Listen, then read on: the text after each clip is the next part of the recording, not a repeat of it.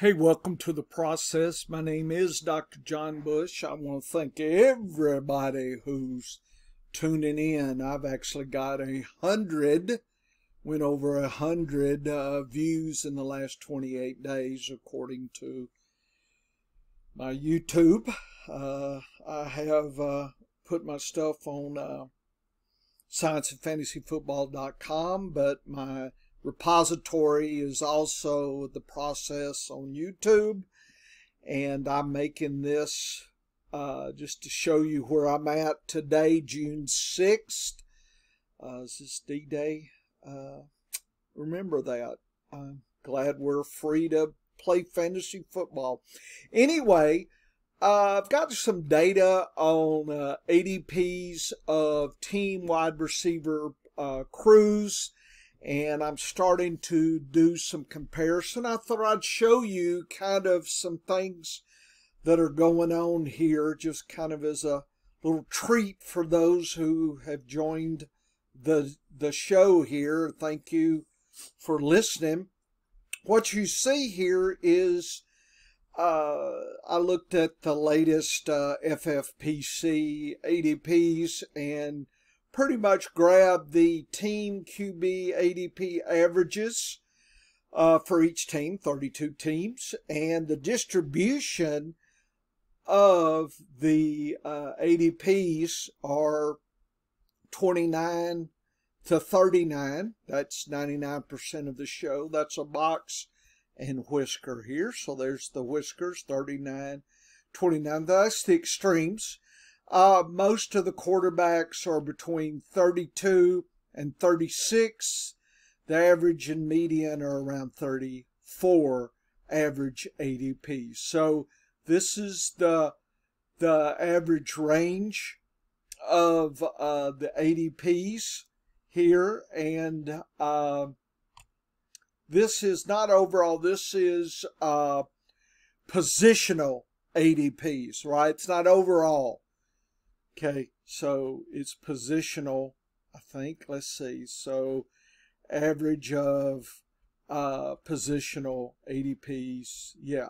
So if you have two quarterbacks on the uh, being tracked, and FFPC does, then the, if you average, uh, uh, you know, Mahomes and whoever's understudy, that that number is going to be skewed here. And I'm also interested in wide receivers. And here's that distribution. Uh, 7.5 ADP as a crew. Uh, that's probably Miami, right? Hill and Waddle. And I don't know who the third or fourth is. And 80. 80. So that's one of the worst crews. So I'm looking at team specific groupings here. And you can see since I've got quarterbacks and wide receivers, I got the metrics here and so what do the metrics allow me to do? They allow me to do this. This is positional average of QBs and wide receivers. So I put them together and I show the how the boxes are with the lines. So this uh, blue diamonds are the quarterbacks and between the purple is the box and here are the outliers higher. So these are the weaker quarterbacks. And then the Blue Diamonds. This is, I guess, Buffalo is the best. Kansas City and Mahomes' is understudy must suck. But anyway, there it is. And then here are the other ones Jacksonville, Minnesota, surprisingly, Dallas, uh, Herbert, uh, you know, the Chargers. So you could see the better quarterbacks and the crews. And here are the worst. Let's see, the one of the worst is Tampa Bay. Nobody knows what's going to happen in Tampa Bay. So this is allows us to be concerned, right? This allows us to be thoughtful about exactly what we're doing. The blue lines are the box for the wide receiver crews. And you can see Miami, Philly are the outliers in the best crew the Outlaws are the worst are the Jets, I'm sorry, the Giants and Houston. So you got a problem there and maybe overselling there, don't know. but this allows you to figure out when you're dipping into the team crew wide receiver. This is probably past the WR1s here. This is getting deeper, right? This is a, a, a deeper, right? This is twos, probably even threes, fours. Just how deep do you want to go? How strong is that depth? And then finally, I don't know, silly me, it's like a view, real quick, a snapshot view of what the public is thinking June 6th, right? And I think this is really neat. I'm going to expand this to running backs and tight ends. So you have an exact view of what the public is seeing as a group. This is this landscape data here, folks, and you've got to be with the landscape data. Okay, again, the question I have is, you know, these sites you're paying for, why aren't they not telling you this stuff first? And then you get deeper. Trying to go bottom, you know, bottom up is tough. I like top down. You need to understand, right? Is this ground fertile? And then I'm going to start planting and digging.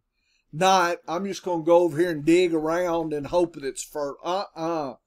This is my approach. This is my process and you can see right away uh, the top teams that have the public loves both the crew and the quarterback.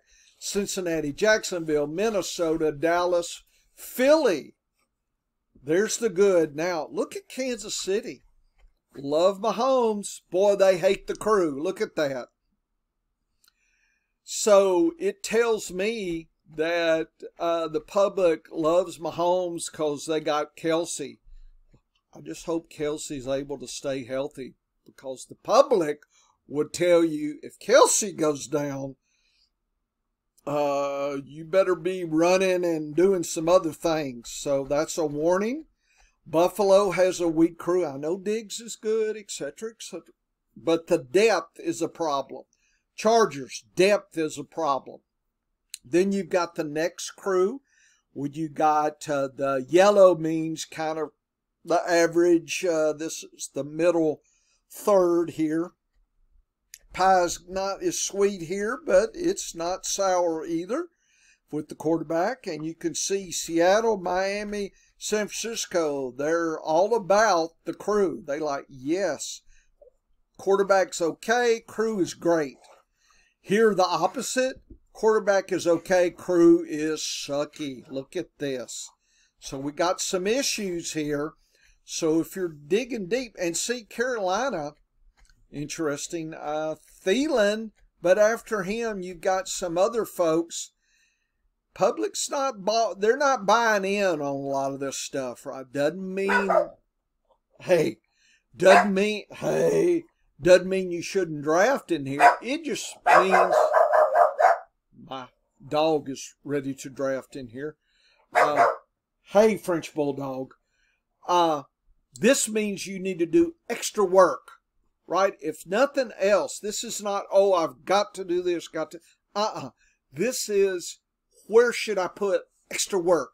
Where might be the sleepers? Where might be, I could beat the public here? Well, if the public thinks it suck and you can pull a, you know, a pearl out of here, right? A silk purse out of the pig stall here, then there you go. And here's average, average. Okay, and then here's the sucky quarterback, again, colored in the public. And Tampa Bay needs that quarterback. They're saying Godwin and Evans.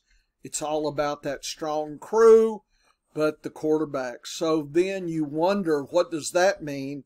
for Evans and Godwin if the quarterback sucks. Public's having some issues here, but they're they they like the potential, but they're worried here. The opposite, Rams, Arizona, they're worried about Murray and his injury. Atlanta Ridder, ugh, I know everybody's talking about uh, the rushing. I understand this is passing. And then New England, uh, this is the issues. Again, to me, I take this as an opportunity to get deep. Okay, going to be doing a lot more stuff. Just kind of had to throw this out there. Uh, we love this goodness here. By the way, I got all the wide receivers. I, I cut the the uh, the the data and the best, the middle, and the worst here. So I got that data. I'm I'll put it up on the site. But I just wanted to take 10 minutes, throw this out for all you folks that have uh, been watching in honor of a hundred views. I know a lot of so-called big sites they got big views. By the way, I don't know why they got better data than this. Come on, man, they don't. Okay, I'm delivering the goods. I don't know what they're doing. Okay, so this is good stuff. Uh, keep listening.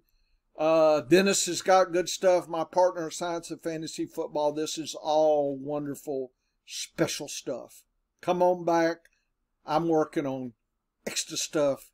Should I show you some extra stuff? Uh-oh. Extra stuff here. What is this? Okay. Uh, we're having fun later.